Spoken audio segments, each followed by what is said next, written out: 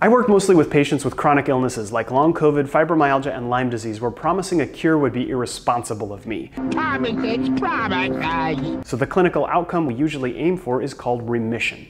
This means symptoms are gone, or as close to gone as they can be, and quality of life is steadily improving.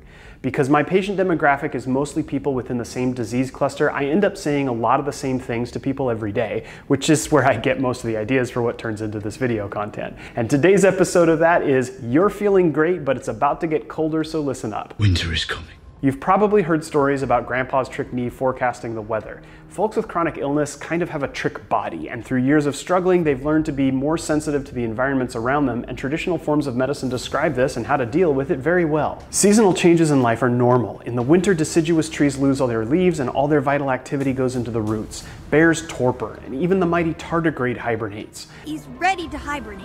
Humans with chronic illness feel more vulnerable and are more prone to a flare of symptoms.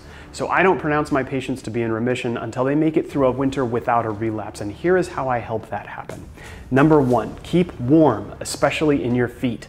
An old saying in medicine goes that when a tree dies, it's the roots that go first. You need to keep ample blood supply down there to prevent developing neuropathy, which is associated with not so good changes in your brain.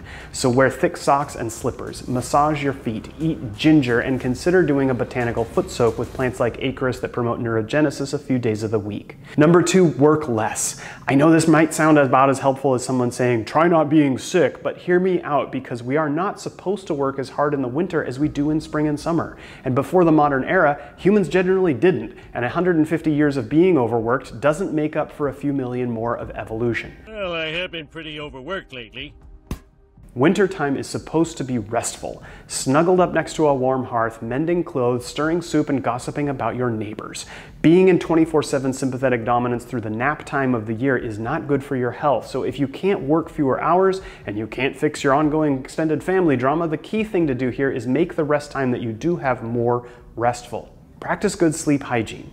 When you take a break, don't take your phone with you unless it's to listen to calming music. Meditate for one minute a day, maybe one minute twice a day. All of this helps, and doing it consistently can help a lot.